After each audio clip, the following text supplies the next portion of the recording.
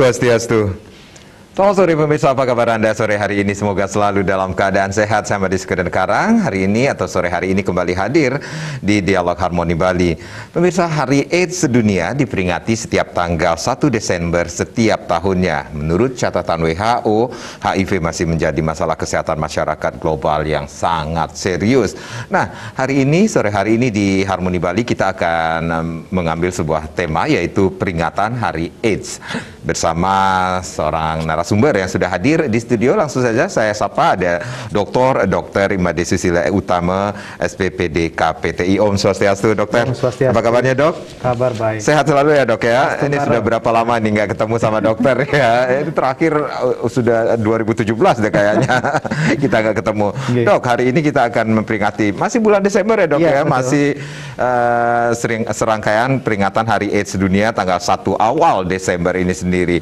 Dan yang saya tahu eh, tema Hari AIDS Dunia 2021 eh, adalah akhiri ketimpangan, akhiri AIDS. Ini ada ada tujuan atau ada uh, pesan yang disampaikan di tema kita uh, di tema Hari AIDS Dunia ini sendiri, Dok? Ya, baik. Terima kasih mm -hmm. Sudana. Selamat sore buat semua pemirsa Bali TV.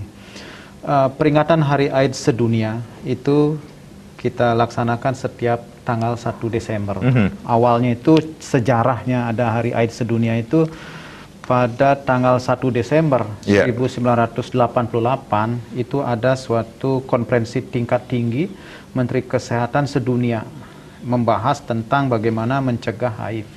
Mm -hmm. Nah, dari sejak itu dipakai sebagai peringatan Hari AIDS Dunia untuk selanjutnya. Jadi 1988 88 sudah mm -hmm. ya. Nah, jadi peringatan Hari AIDS Sedunia ini uh, kita peringati sebagai momentum awareness atau kesadaran kita semua terhadap bahaya infeksi HIV AIDS ini. Hmm. Karena seperti Bapak sampaikan tadi bahwa infeksi HIV dan AIDS ini saat sampai saat ini masih menjadi ancaman global daripada kesehatan dunia hmm. semua. Sehingga kita jadikan momentum bahwa kita uh, mengingatkan kesadaran kita semua bahwa infeksi HIV masih menjadi permasalahan yang serius di tempat mm -hmm. kita. Nah, sekarang masalah uh, daripada temanya kita ingin mengakhiri HIV AIDS memang itu adalah tujuan akhir kita kita bisa menghentikan infeksi HIV AIDS ini sampai tidak ada infeksi baru triple zero seperti mm -hmm. yang mhm. kita rancang itu adalah uh, zero daripada infeksi baru zero daripada kematian akibat HIV AIDS dan zero stigma diskriminasi terhadap uh, mereka yang mengidap infeksi HIV AIDS yang kita uh, kenal dengan istilah ODA. Mm -hmm. Mm -hmm. Ya, Oke, okay. sesaat lagi kita akan mengakhiri 2021 ini sendiri. Ya. Kalau kita berbicara tentang data, ini apakah uh, uh, pasien uh, HIV AIDS ini sendiri bagaimana kondisinya? Apakah uh, semakin bertambahkah atau bagaimana, dok? Kalau angka, saya tidak menyebutkan angka pasti. Yeah. Ya, di klinik kita infeksi-infeksi baru masih terus kita dapatkan, mm -hmm. masih terus ada, ya. Dan kemudian satu catatan kita bahwa infeksi HIV yang masuk ke klinik kita itu masih sebagian besar didominasi oleh infeksi HIV stadium 4 atau AIDS. Jadi mereka yang sudah dengan uh, imun yang sudah sangat rendah Ya, inilah mungkin kelemahan kita karena bagaimanapun kalau infeksi HIV itu kita bisa deteksi lebih awal, mm -hmm. jadi masih gejalanya ringan atau tanpa gejala, kita akan bisa mencegah tidak terjadi AIDS. Tetapi sampai saat ini pengalaman kami di lapangan kasus-kasus infeksi HIV yang masuk mas sudah dalam stadium AIDS. Mm -hmm. Mm -hmm. Apa yang menyebabkan uh, sedemikian ya. uh, uh, edukasikah ya, yang betul. kurang? Seperti apa dok? Ya itulah karena salah satunya adalah awareness kita. Oke. Okay. Awareness kita, kesadaran kita bahwa kemungkinan memang dari kita ada yang memang mempunyai faktor risiko atau men, men, terinfeksi HIV yang tidak terdeteksi. Yang kedua adalah memang mungkin tidak mengenali gejala-gejala infeksi HIV mm -hmm. sehingga sudah datang dalam stadium yang lanjut sehingga Datangnya stadium lanjut ini juga menjadi tantangan bagi kita karena akan risiko kematian akan lebih tinggi dibandingkan dengan uh, infeksi HIV yang datang pada stadium awal. Oke. Ya. Baik, baik. Dokter uh, Susilo nanti kita akan lanjutkan lagi masih dengan uh, topik kita yaitu peringatan Hari AIDS. Pemirsa kami akan kembali tapi nanti di sesi berikutnya silakan Anda yang ingin berpartisipasi di 0361 dan juga di 0361 kami akan membuka line uh, tapi tentunya setelah yang berikut ini.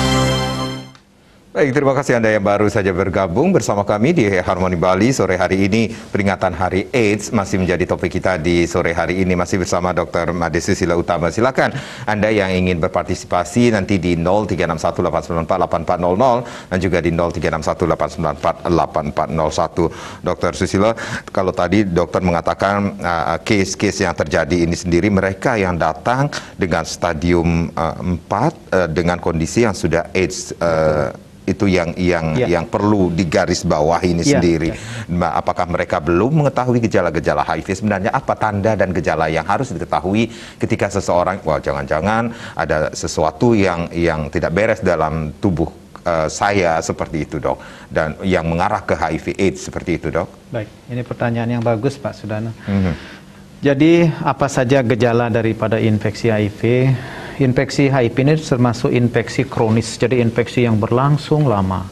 Pada saat virus pertama kali masuk, yaitu melalui darah dan cairan tubuh, apakah hubungan seksual, kemudian uh, hubungan seksual berganti-ganti pasangan, penggunaan narkoba suntik dan lain-lain, maka akan muncul gejala seperti influenza biasa. Mm-hmm. Jadi flu-like illness, jadi gejala influenza, nyeri tulang, demam, meriang. Nah, ini gejalanya tidak khas yang pertama. Nah, kemudian itu hanya berlangsung 1-2 minggu dan akan sembuh sendiri. Kemudian ada suatu periode laten, periode jangka panjang 2 sampai 8 tahun tanpa gejala. Ini tidak ada gejala. 2 sampai 8, 8 tahun. tahun bisa hmm. tanpa gejala. Artinya tidak ada gejala tetapi dia sudah terinfeksi. Oke. Okay. Ya, ini bisa terjadi karena respon imunnya masih bagus. Nah, setelah 8 tahun respon tubuh, daya tahan tubuh itu sudah sangat rendah barulah muncul infeksi-infeksi. Infeksi-infeksi yang muncul ini macam-macam bisa dari ujung rambut sampai ujung kaki. Tetapi yang paling sering yang kita dapatkan yang pertama adalah TBC paru, uh mhm. -huh. yang kedua adalah infeksi jamur pada rongga mulut, jadi mulutnya akan putih, kemudian tidak bisa menelan, kemudian ada uh, infeksi otak juga mulai banyak, toksoplasmosis cerebri, jadi ada penurunan kesadaran seperti orang stroke mirip gejalanya, kemudian ada diare yang berkepanjangan, ada demam yang lama yang terus-menerus. Jadi gejalanya cukup banyak. Itu gejala yang saya sampaikan itu gejala sudah stadium lanjut. Mm -hmm. Tetapi yang stadium awal itu infeksi seperti flu, jadi tidak ada gejala yang spesifik. Dan setelah itu periode tanpa gejala. Jadi bisa tanpa gejala.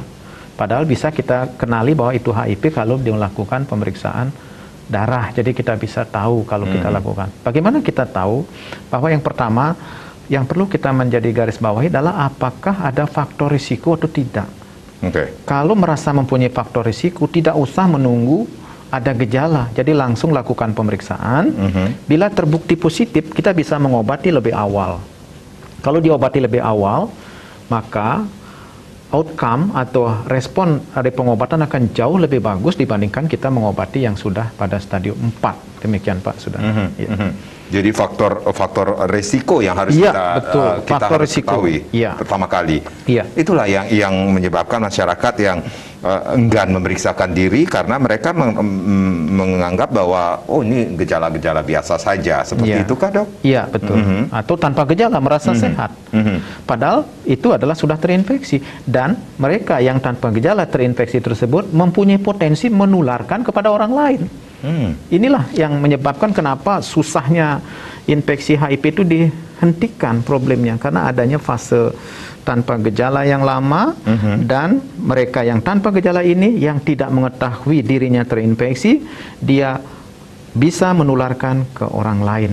Satu-satunya cara untuk mengetahui adalah dengan dengan melakukan pemeriksaan tes anti HIV. Pemeriksaannya berupa pemeriksaan tes. darah. Mhm. Jadi pemeriksaan itu melalui pemeriksaan darah akan melihat apakah ada antibodi terhadap virus HIV. Mhm. Kalau ada antibodi artinya mereka terinfeksi oleh virus HIV. Kalau terbukti terinfeksi, kita bisa obati karena sekarang pedomannya adalah setiap kali infeksi harus diobati. Berbeda dengan dulu. Kalau dulu, zaman dulu setelah AIDS jadi ada namanya CD4 daya eh, daya tahan tubuh. Setelah CD4 di bawah 200, ada AIDS baru diobati. Sekarang tidak lagi. Mhm. Kita setiap kali ada infeksi, kita segera obati. Mhm. Karena tujuan daripada pengobatan di samping untuk pasiennya sehingga tidak jatuh ke AIDS, Ya. yang satu lagi tujuan daripada pengobatan adalah untuk pencegahan. Karena kalau kita sudah obati itu risiko penularan menjadi sangat rendah. Ini istilahnya adalah treatment as prevention. Mhm. Pengobatan adalah pencegahan. Jadi seperti itu. Mhm. Penting sekali kita lakukan itu. Baik, seberapa bahayanya HIV/AIDS pada daya, daya tahan tubuh seseorang, dok? Uh, jadi HIV infeksi HIV ini kan disebabkan oleh virus, Iya. virus HIV. Virus HIV ini mempunyai uh, kecenderungan, jadi dia mempunyai sifat untuk menyerang sel-sel daya tahan tubuh. Jadi khusus dia sel daya tahan tubuh yang dicari itu namanya sel di kedokteran namanya sel limfosit T yang punya reseptor CD4. Jadi sel daya tahan tubuh istilah awam. Nah daya tahan tubuh ini terus diserang oleh virus. Virusnya terus berkembang biak berkembang biak dalam jumlah yang sangat banyak setiap hari sampai pada suatu titik di mana daya tahan tubuh, sel daya tahan tubuh ini sudah habis oleh virusnya sehingga daya tahan tubuh turun maka akan muncul infeksi-infeksi yang bisa menyebabkan fatalit sampai fatal bahkan kematian. Hmm. Mhm. Ya, jadi seperti itu. Oke, ini apakah setiap orang dengan HIV akan akan selalu berakhir dengan uh, uh, AIDS Iya, seperti itu? kalau tidak diobati. Kalau tidak diobati. Iya, kalau infeksi HIV diobati, Mhm. dia tidak akan jatuh ke AIDS. Mhm. Dengan syarat ya harus kita kendalikan virusnya. Kalau virusnya kita kendalikan dengan obat antivirus, jadi virus ditekan terus, tidak bisa berkembang biak dia, maka daya tahan tubuh akan membaik, membaik, membaik, CD4-nya bagus, nah kan, maka tidak akan jatuh ke AIDS. Mhm. Jadi pencegahan untuk jatuh ke AIDS adalah deteksi awal, Mhm. obati lebih awal. Oke, baik. Itu yang harus dilakukan Iya, ketika betul. seseorang yang sudah merasakan uh, tanda-tanda atau gejala-gejala yang seperti dokter sampaikan. Iya. Begitu kita diketahui apakah mereka terinfeksi, mereka akan diberikan obat seperti Iya, itu kan? Iya betul, Mhm. obat obat antivirus Agar kita tidak se- terjatuh ke uh, stadium AIDS. Stadium Ya. AIDS. Kalau sudah AIDS kita obati dengan harapan Mhm. bahwa daya tahan tubuh membaik dan dia akan bisa kembali normal sama seperti orang yang tanpa HIV. Jadi bisa hidup normal, Mhm. tapi dengan obat tentunya. Berarti penderita HIV AIDS ini tidak bisa disembuhkan, dok? Ya, sampai saat ini boleh saya katakan tidak bisa disembuhkan, tetapi bisa dikendalikan dengan obat. Mhm. Ya. Baik, dikendalikan dengan obat. Tetap, tetapi kita mengetahui situasi saat ini berbeda. Eh, dua tahun belakangan ini sendiri Iya. di pandemi ini sendiri. Ini apakah akan ada apa yang harus di, di, di apa ya dipersiapkan oleh para eh, mereka pasien HIV/AIDS ini sendiri, dok? Apakah Iya. ada eh, perbedaannya, dok? Ya, jadi karena infeksi HIV AIDS itu adalah termasuk kelompok risiko, saya bilang risiko karena daya tahan tubuh yang rendah, maka mereka akan cenderung lebih rentan terhadap infeksi virus yang lain termasuk infeksi virus SARS-CoV-2 atau COVID ini. Mereka harus mendapatkan prioritas dalam hal pencegahan infeksi HIV, kemudian pengenalan terhadap infeksi SARS-CoV-2. Awareness kita harus lebih besar pada masa pandemi ini. Karena kalau mereka dengan infeksi HIV, kemudian mendapatkan infeksi virus yang menyebabkan COVID-19, tentu akan menjadi lebih berat. Makanya mereka dengan infeksi HIV kita prioritaskan mendapatkan vaksinasi untuk menumbuhkan kekebalan terhadap virus SARS-CoV-2, COVID itu sehingga mereka tidak mendapatkan infeksi. Jadi pasien uh, Covid. uh, mereka yang yang tergolong dengan HIV/AIDS ini pun itu diprioritaskan untuk mendapatkan vaksinasi. Iya betul, Mhm. ya jadi betul.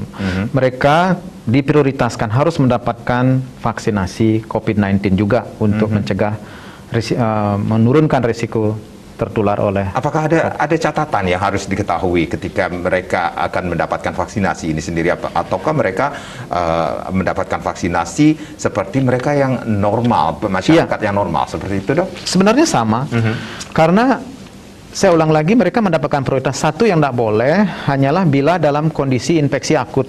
Artinya kalau pada saat itu mereka sedang ada demam, ada batuk, sedang pilek, atau sedang dalam pengobatan TB kurang dari dua minggu, mungkin bisa kita tunda dulu. Setelah itu kondisi membaik, kita bisa berikan vaksin COVID tanpa memandang jumlah CD4 itu lagi satu tanpa memandang jumlah CD4. Kita tetap berikan vaksinasi. Mhm. Ya. Jadi jadi tanpa memandang CD4-nya apakah uh, kalau misalnya katakanlah ini di, di bawah 200, 200, seperti iya. itu dok? Tetap kita berikan. Memang salah satu kelemahannya adalah kalau pada mereka yang dengan uh, kekebalan tubuh yang rendah atau respon imun yang rendah adalah kemampuan membentuk antibodi yang diharapkan dari vaksin COVID itu tentu lebih rendah dibandingkan dengan orang yang normal. Oke. Makanya kita prioritaskan dan harus sampai dua kali. Bahkan bila perlu nanti mereka juga mendapatkan prioritas untuk booster sebenarnya untuk lebih meningkatkan imunnya lagi pada mereka yang terinfeksi uh, HIV. Apa yang menyebabkan setiap uh, orang dengan HIV/AIDS ini sendiri uh, CD4-nya mereka itu bisa berbeda-beda dok? Uh, Atau itu daya tahan i- uh, itu tergantung imunnya? kepada progres atau natural course dari perjalanan alamiah suatu infeksi. Mhm. Jadi CD4 itu akan mulai menurun menurun kalau yang alamiah artinya tanpa pengobatan, jadi dia akan menurun menurun menurun sampai titik terendah bahkan bisa sampai nol. Setelah 6-8 tahun di bawah 200 terus. Itu kalau tidak diobati. Kalau tidak diobati. Iya, kalau diobati Hmm. dan kita berhasil pengobatannya maka CD4-nya akan naik naik naik sama seperti orang normal. Hmm. Jadi normal biasa ya kalau sudah dengan pengobatan antivirus. Mhm. Ya, itu itu yang membedakan perjalanan penyakitnya dan pengobatan yang kita berikan. Dan gaya hidup juga bagi mereka Ya salah akan ber- satunya. uh, akan berpengaruh juga kah? Tapi tetap yang penting adalah pengobatan antivirus. Pengobatan itu sendiri. Iya, antivirusnya yang yang memegang peranan paling penting. Dalam situasi pandemi saat ini sendiri, bagaimana peng- pengobatan apakah berjalan lancar bagi mereka dengan pengidap HIV/AIDS ini sendiri, Ya, dok? Selama masa pandemi kita sudah hampir dua tahun ini, ya Astungkare, ketersediaan obat antiretrovirus, obat-obat untuk menangani infeksi, itu masih tetap tersedia. Ya, pemerintah selalu siap mensuplai obat-obat itu. Cuma ada beberapa hal yang harus kita perhatikan pada pasien-pasien HIV kita dalam hal kontrol ke poliklinik. Tetap kita harus memperhatikan protokol kesehatan karena mereka termasuk kelompok rentan. Ya, jadi kelompok rentan sehingga risiko penularan juga kita tidak dapatkan dengan sering ke rumah sakit. Sehingga mungkin apakah jarak kontrol ke rumah sakitnya kalau sudah stabil kita bisa kasih jangka lebih lama misalnya bisa saja ataukah mungkin dengan metode apakah pakai telemedicine dan lain-lain kalau memungkinkan itu masih bisa kita lakukan untuk mencegah penularan uh, COVID pada masa pandemi ini bagi mereka yang terinfeksi HIV. Mhm. Berarti ada tantangan juga ya dok Banyak, dalam, banyak dalam tantangan. masa pandemi ini Ada sendiri tantangan. dalam pencegahan HIV/AIDS ini sendiri dok seperti apa dok? Ya seperti yang saya sampaikan tadi, jadi kita bagaimana kita me- memberikan awareness kesadaran kepada pasien-pasien kita bahwa mereka termasuk kelompok rentan atau kelompok berisiko untuk mendapatkan COVID dan bila dapat COVID lebih berat sehingga lebih menekankan protokol kesehatan. Dan Oke. dan kita selalu tanyakan kembali apakah sudah vaksinasi itu belum.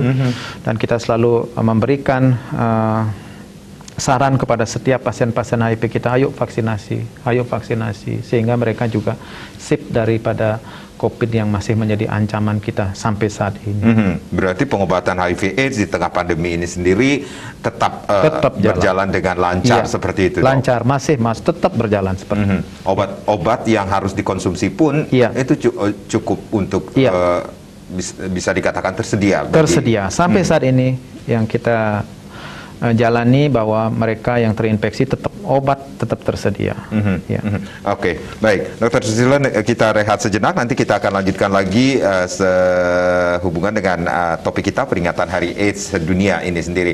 Pemirsa, kami akan kembali di sesi berikutnya masih dengan topik kita peringatan Hari AIDS masih bersama Dokter Dokter Imade Susila Utama SPPD KPTI dan di sesi berikutnya di kami akan mengundang Anda untuk berpartisipasi di 0361 894 8400 dan juga di 0361 894 8401 tapi tentunya setelah pariwara berikut ini.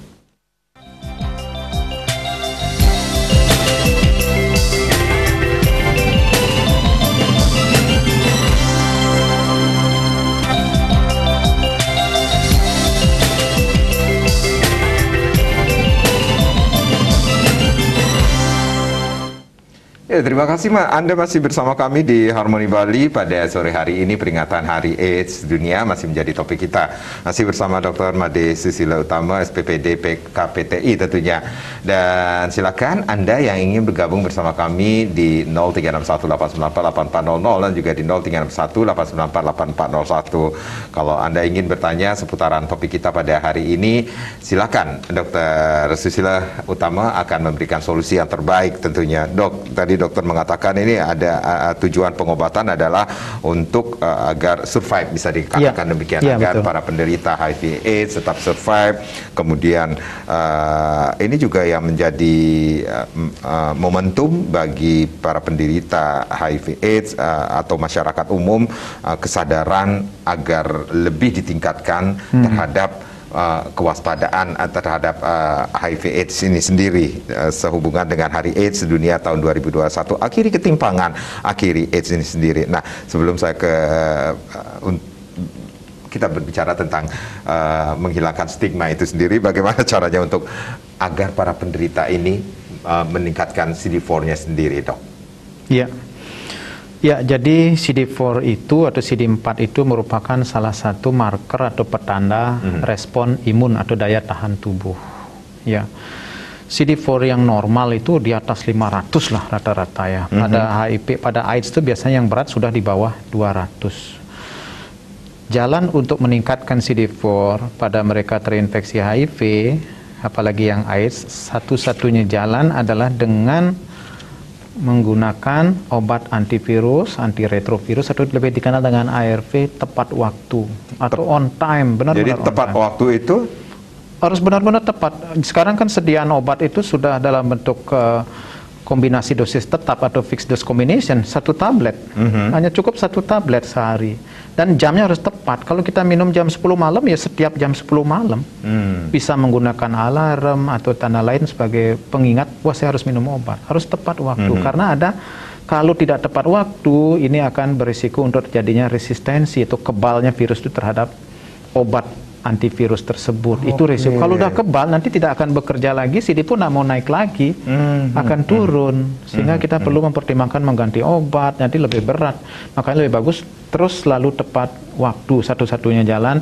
Obat antiretrovirus tepat waktu dan yang kedua tentunya juga dengan menjaga gaya hidup, lifestyle, apa makan yang sehat, mm -hmm. istirahat yang cukup, olahraga yang seimbang dan lain-lain itu harus tetap di upayakan semaksimal Oke, itu yang harus dilakukan. Uh, pengkonsumsian obat uh, harus tepat waktu. Ya, apa yang terjadi, dok? Uh, sekali lagi, apakah tidak boleh uh, uh, ke apa terlambat lebih sedikit atau uh, maju, lebih ya. maju lebih dikit, dok? Virus ini pintar, Pak Sudana. Waduh, virus ini sangat pintar, benar-benar pintar. Iya, makanya makanya virus ini benar-benar virus yang luar biasa. Mm -hmm. Tidak bisa di disembuhkan kan kita yeah. bilang tadi. Hmm. Tapi bisa ditekan replikasi uh, perkembangbiakannya selama minum tepat waktu. Karena kalau seandainya tidak tepat waktu, maju atau mundur, hmm. artinya kadar obat antivirus di dalam darah itu tidak mencukupi. Nah. nah, si virus ini akan belajar dari obat ini. Oh, begini caranya untuk menangkal. Bagaimana dia akan mengubah dirinya sehingga lama kelamaan dalam hitungan beberapa bulan, berapa tahun, maka si virus ini sudah tahu tidak akan mempan lagi obat yang kita berikan. Mm -hmm. Akhirnya kalau obatnya tidak mempan ya si pun turun lagi, kemudian mm -hmm. akan muncul infeksi baru. Seperti itu namanya kegagalan, kegagalan pengobatan itu tidak boleh terjadi. Mm -hmm. nah, ya, mm -hmm. asalkan si penyintas atau pengidap ini bisa disiplin untuk mengkonsumsi obat antivirus. Jadi kedisiplinan ini sangat Ya, dituntut ketika sangat penting. uh, mereka harus mengkonsumsi obat itu sendiri, Iya, dok. sangat-sangat penting. Mhm.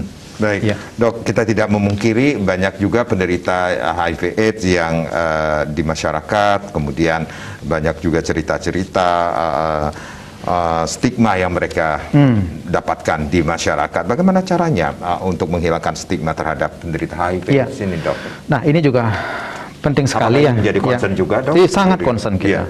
Kita memang sangat concern kepada stigma dan diskriminasi terhadap uh, pengidap HIV/AIDS. Kenapa? Karena uh, acara-acara seperti ini perlu lebih sering kita berikan ke masyarakat, kita berikan informasi kepada masyarakat bahwa penularan daripada infeksi HIV ini adalah tidak melalui kontak sosial. Mhm. Jadi kita dengan ngobrol seperti ini, minum satu gelas dan lain-lain itu tidak akan ada penularan. Sehingga kalau kita semua sudah paham bahwa tidak terjadi penularan melalui kontak sosial, itu akan bisa menghilangkan stigma dan itu akan menghilangkan uh, diskriminasi sehingga kita tidak akan mendiskriminasi pengidap HIV tersebut.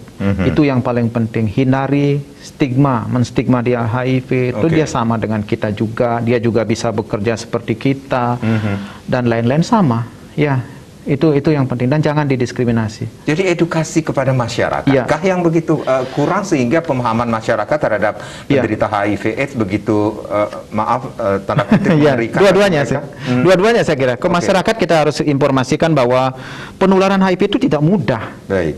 Beda dengan penularan COVID yang gitu gampangnya kalau kita kontak sosial dan pakai HIV, HIV tidak akan menular. Jadi HIV tidak akan semudah bisa itu menular menular. ketika kita ngobrol, Tidak, tidak uh, akan bersalaman seperti Tidak itu ada. menggunakan barang yang sama seperti itu. Tidak ada. Penularannya melalui kontak seksual, jarum suntik, kehamilan, persalinan dan menyusui hanya itu yang penularannya. Sehingga lewat kontak sosial tidak ada. Tidak usah khawatir. Jadi bagaimana pemahaman yang benar tentang penularan HIV kepada masyarakat itu perlu kita berulang-berulang sampaikan dan juga kepada pengidap odanya, pengidap ini jangan lagi takut untuk berinteraksi dengan orang lain.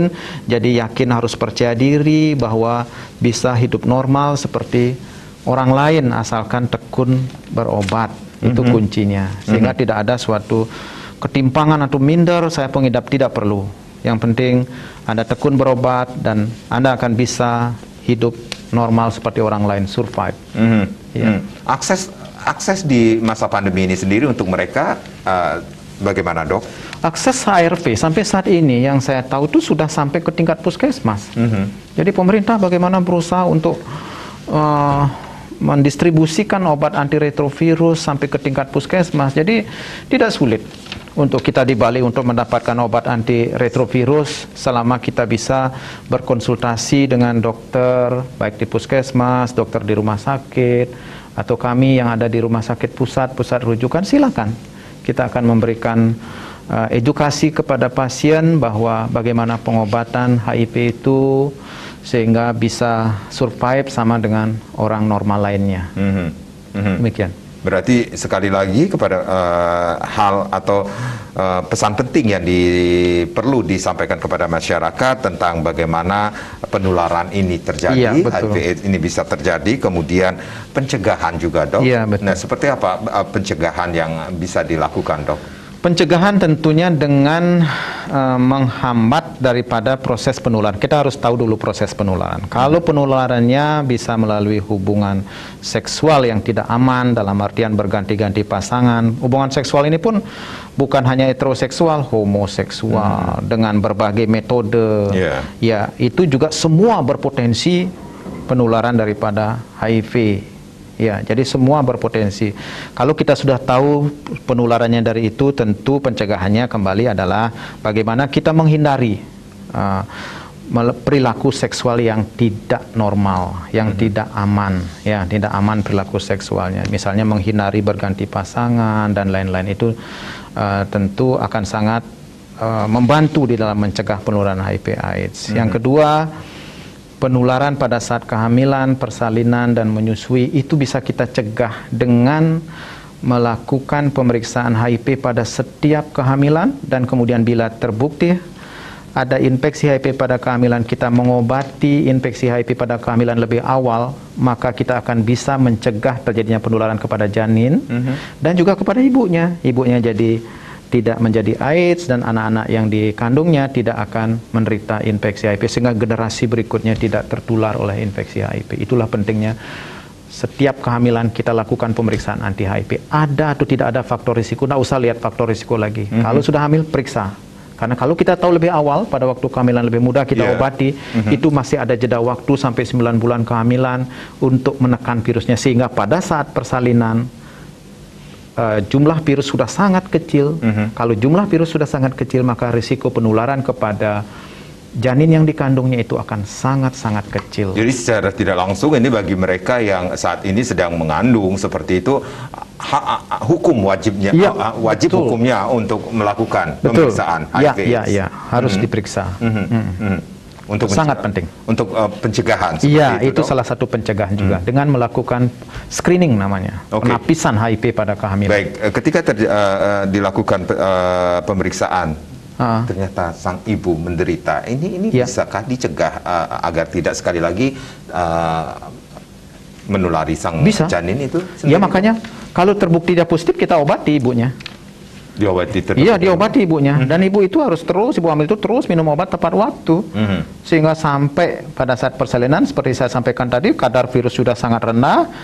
Karena obat tersebut, dengan tentunya sidipu juga meningkat, bila kadar virus sudah sangat rendah, risiko penularan menjadi sangat kecil. Sehingga hmm. janin yang dikandung, generasi berikutnya aman dari HIV. Hmm. Ya. Hmm. Baik itu yang harus dilakukan ya, ya dok ya setiap ya. Uh, bahkan seorang ibu hamil pun wajib nah. melakukan pemeriksaan ya. HIV/AIDS ya. dan itu sudah dilakukan dok sudah mm -hmm. ya jadi uh, pemeriksaan HIV itu bukan lagi lah suatu pemeriksaan yang sangat eksklusif itu pemeriksaan yang biasa saja okay. yang kita wajib lakukan mm -hmm. bahkan pada general CA pun tidak ada salahnya kita tambahkan pemeriksaan anti HIV mm -hmm. sehingga kita mm -hmm. uh, seandainya terdeteksi kita bisa mengobati lebih awal itu mm -hmm. pentingnya. Oke. Okay, Apalagi merasa berisiko, mm -hmm. ya wajib A itu diperiksa. Akhiri ketimpangan, akhiri AIDS itu adalah tema uh, Hari AIDS Sedunia 2021 ini sendiri. Kalau kita berbicara tentang pengendalian HIV/AIDS mm. khususnya di Bali ini seperti yeah. apa, dok? Uh, pengendalian HIV sampai saat ini ya, menurut kami sih sudah berjalan dan tentu kita mohon uh, daripada partisipasi semua warga untuk lebih aware hmm. atau kesadaran terhadap infeksi HIV dan AIDS ini harus lebih kita tingkatkan sehingga bagaimana harapan kita untuk menolkan infeksi baru, menserukan kematian akibat HIV dan juga kita tidak ada lagi stigma dan diskriminasi bisa tercapai itu harapan kita. Oke, okay, baik. Sekali lagi ini juga edukasi kepada masyarakat bahwa setiap orang dengan HIV ini tidak akan berakhir dengan uh, AIDS kalau Diobati. dilakukan pengobatan lebih awal. Iya, seperti itu kan. Betul, betul. Mm -hmm. Iya. Mm -hmm. Benar sekali. Ya, dan itu yang harus dilakukan. Setiap ya. orang uh, dengan tanda-tanda uh, atau gejala-gejala yang saat ini dialami. Iya. Iya. Mm -hmm. Mm -hmm. Jadi tidak harus dengan gejala, tanpa gejala pun. Kalau ada faktor risiko, ya faktor risiko itu juga wajib memeriksakan diri. Mm -hmm. Itu penting sehingga kita bisa tahu lebih awal, early detection, ya istilahnya. Mm -hmm. Deteksi lebih dini. Kalau stadium sudah stadium AA 4 dengan dengan kondisi yang sudah sangat parah ini sendiri, apakah seseorang bisa di, di maaf diselamatkan, Dok? Ya. Kembali. Kalau stadium 4 itu sudah namanya AIDS, mm -hmm. ya acquired immunodeficiency syndrome, artinya sudah didapatkan infeksi-infeksi oportunistik yang berat atau AIDS defining illness. Jadi illness yang menandakan sudah AIDS. Itu banyak jenisnya.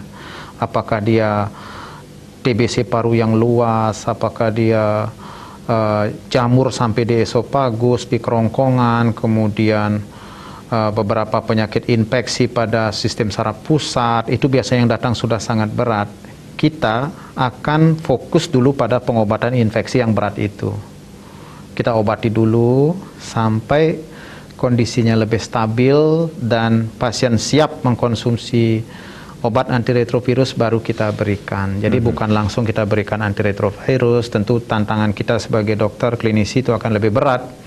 Ya, lebih berat dalam artian kita harus mengobati infeksinya dulu. Setelah infeksinya selesai baru nanti kita akan mulai pengobatan ARP. Tentu juga tidak akan menunda terlalu lama. Artinya walaupun pada stadium yang 4 itu kita masih bisa selamatkan tentunya dengan usaha yang maksimal daripada tim untuk mengobati infeksinya. Mm -hmm. Tetapi ya tetap namanya uh, risiko atau mortalitas, risiko mortalitas atau risiko kematian ya lebih tinggi kalau sudah pada stadium AIDS itu tidak bisa itu. dihindari. Oke, okay, baik. Uh, ketika seseorang sudah kena HIV ini sendiri, berarti uh, kita akan berbicara tentang berapa lama akan terjadi kehidupan nantinya, dok? Terhadap pasien itu sendiri, dok. Maksudnya kalau sudah terkendali, itu sama dengan orang lain dah Ya sama. Normal saja. Normal. Ya kita tidak akan bilang berapa lama. Kalau dia survive, ya uh, dia bisa hidup sama seperti orang yang non HIV, mm -hmm. sama seperti orang lain. Oke. Okay. Artinya selama dia bisa uh, mengkonsumsi obat tepat waktu dan kita kontrol uh, respon daya tahan tubuhnya. Yang penting kita tetap kontrol bagaimana daya tahan tubuhnya, CD-nya tetap stabil. Tidak usah khawatir bahwa mereka bisa survive sama dengan orang yang lain. Mm -hmm. ya. Mm -hmm. Oke, okay. dok, eh, eh, cukup banyak pengidap virus HIV dan penderita AIDS yang tidak terdeteksi. Mungkin kemungkinan lagi ini uh, karena rendahnya inisiatif masyarakat untuk memeriksakan diri, sekalipun tahu dirinya berisiko seperti itu, dok. Nah, Mungkin ini ada upaya-upaya dari uh, uh, tenaga medis, pemerintah untuk mengedukasi kembali masyarakat. Ya, edukasi itu sangat penting bagi masyarakat. Bagaimana pentingnya kita melakukan pemeriksaan anti HIV uh, eh, bisa melalui berbagai cara. Ya, apakah cara uh, seperti ini, audiovisual, kemudian melalui uh, cerita-cerita di ini di masyarakat, media sosial dan lain-lain kemudian tontonan-tontonan tradisional, mungkin kita selip-selipkan kepada tentang bagaimana uh, HIV AIDS yang barangkali sudah dilakukan selama ini. Itu mm -hmm. terus kita harus tingkatkan lagi pemahaman tersebut sehingga kita harapkan masyarakat kita lebih paham tentang infeksi HIV AIDS dan bisa melakukan pencegahan yang paling penting.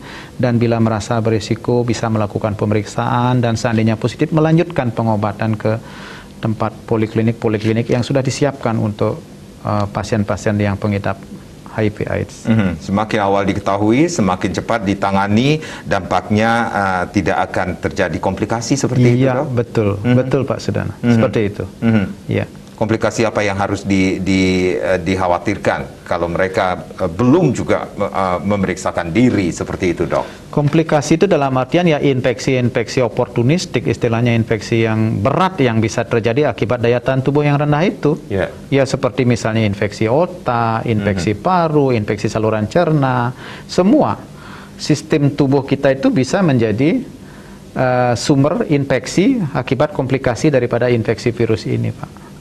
Apakah akan berbeda juga dengan mereka yang mempunyai penyakit bawaan seperti itu, dok? Maksudnya penyakit bawaan gimana, Pak? Eh, penyakit uh, yang lainnya uh, selain HIV AIDS ini sendiri, dok? Uh, tentu berbeda, mm -hmm. ya karena infeksi pada uh, komplikasi pada HIV itu lebih kepada akibat penurunan daya tahan tubuh terjadi infeksi-infeksi yang berat. Bukan hanya infeksi sekarang ini yang kita tahu pada uh, HIV AIDS, ada juga komplikasi-komplikasi lain seperti misalnya yang sekarang juga mulai banyak kita kenal adanya cancer yang terkait HIV juga yeah. ada. Mm -hmm. Misalnya cancer cervix yang invasif yang sudah lanjut, kanker darah, limfoma, itu juga bisa terkait HIV. Jadi mm -hmm. jadi lebih khusus dia. Infeksi-infeksi oportunistik yang berat tuh juga bermacam-macam yang saya Baik. sampaikan tadi. Baik, dokter, sila kita rehat kembali. Nanti kita akan lanjutkan lagi pemirsa. Jangan ke mana-mana, kami akan kembali sesaat lagi.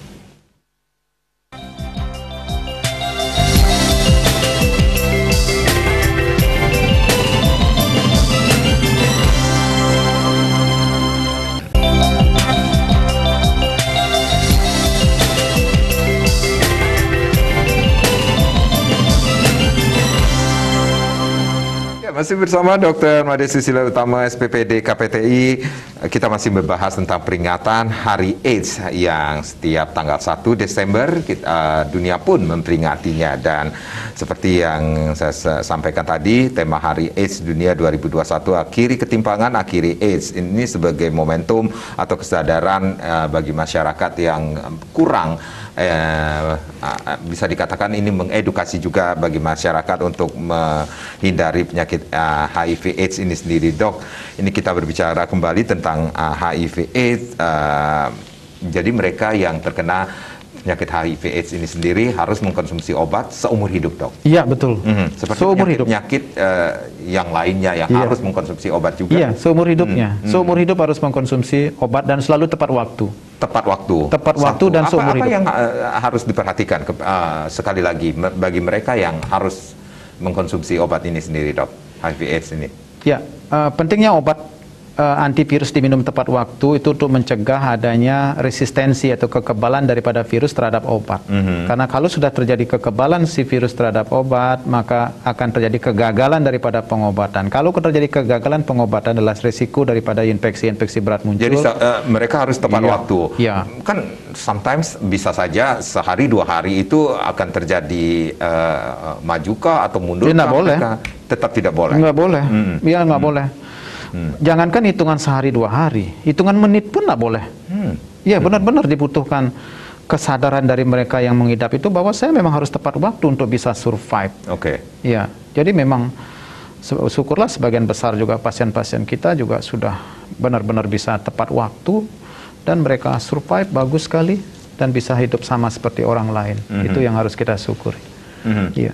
Baik kehidupan mereka tetap normal-normal saja, tetapi mereka juga harus uh, dengan uh, syarat mereka juga harus mengkonsumsi obat itu sendiri, dok. Iya, betul. Mm -hmm. Baik, dok. Berarti ada ada sesuatu yang ingin disampaikan, dok, atau pesan penting dari peringatan Hari AIDS Dunia tahun 2021 ini sendiri, uh, baik kepada masyarakat umum ataupun bagi mereka yang sudah terkena HIV/AIDS ini, dok. Ya, baik. Terima kasih Pak Sudana. Selamat sore semua pemirsa. Saya sampaikan kembali dengan peringatan Hari AIDS Sedunia tanggal 1 Desember ini 2021 yang sekarang ini adalah momentum kita semua untuk menumbuhkan awareness atau kesadaran kita bahwa infeksi HIV AIDS masih menjadi ancaman daripada kesehatan kita semua dan ini adalah bisa kita lakukan pencegahan ya dan infeksi HIV AIDS adalah bisa kita obati. Satu lagi yang juga tidak kalah pentingnya adalah mari kita semua tidak melakukan stigma atau menstigma mereka yang mengidap HIV dan tidak melakukan diskriminasi terhadap infeksi HIV AIDS. Kami yakin infeksi HIV AIDS ini bisa kita akhiri seperti tema selama kita bisa melakukan pencegahan yang optimal dan kita meneruskan melakukan pengobatan terhadap infeksi ini dengan menggunakan obat antivirus dan selalu tepat waktu dan concern untuk terus berobat seumur hidup. Kita akan bisa akhiri IP AIDS. Demikian. Oke. Terima kasih. Baik, dok. Uh, satu lagi dok. Pada saat Hari AIDS Sedunia tahun 2021 ini sendiri, ini ada hal-hal yang sudah dilakukan, khususnya di Bali ini sendiri, dok, untuk memberikan uh, pemahaman dan edukasi kepada mereka.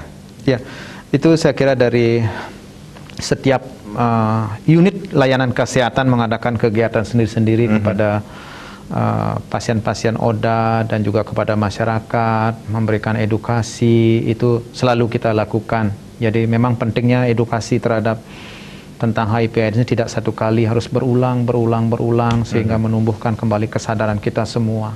Ya dan itu harus dilakukan oleh semua pihak. Tidak bisa oleh pihak pemerintah saja. Kita semua dari semua komponen yang ada untuk meningkatkan awareness kesadaran kita terhadap bahaya infeksi HIV AIDS yang masih menjadi ancaman masalah kesehatan global kita semua. Mm-hmm. Peran pemerintah pun juga sudah sangat uh, sudah sudah sangat sekali. maksimal. Jadi tidak bisa pemerintah saja yang bergerak untuk mm-hmm.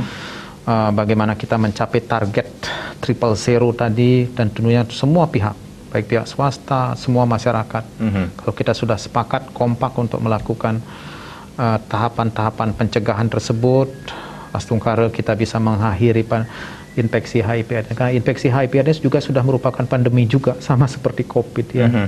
Walaupun di dalam era kita pandemi COVID ini uh, fokus perhatian kita terhadap infeksi HIV/AIDS itu harus tetap uh, kita prioritaskan juga.